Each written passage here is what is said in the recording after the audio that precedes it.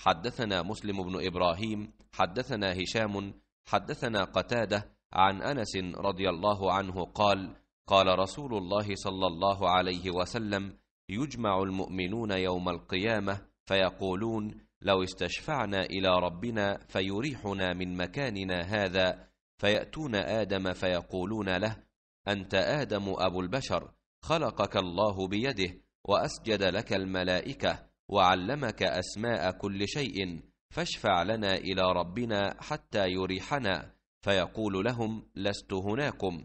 فيذكر لهم خطيئته التي أصاب.